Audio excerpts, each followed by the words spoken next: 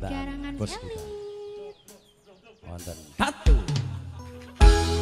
Karangan elit yo. Serap buat yang di rumah aja. Buat lagu ini juga disukai mantan